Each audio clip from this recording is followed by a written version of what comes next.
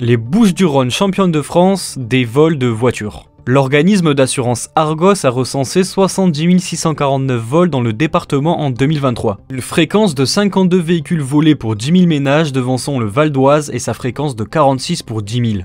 Les voitures les plus prisées des voleurs à l'échelle nationale sont la Clio 4 suivie de la Mégane 4, de la Peugeot 3008 et de la Peugeot 308. Benoît Leclerc, directeur d'Argos, explique que Marseille joue un rôle important dans le trafic de voitures volées grâce à son port. La plupart des véhicules sont exportés vers l'Afrique, ce qui explique la présence de la Toyota RAV4 en 5 place du classement. Selon Argos, cette voiture est ciblée parce qu'elle correspond bien au marché africain. L'utilisation de l'électronique facilite grandement le vol des voitures. Les voleurs sont capables d'imiter le signal des clés afin de l'ouvrir et de la faire démarrer, c'est ce que l'on appelle le mouse jacking. Sur la totalité des véhicules volés en 2023, les deux tiers n'ont pas été retrouvés. Selon le ministre de l'Intérieur, 36% des victimes ne prennent même pas la peine de porter plainte.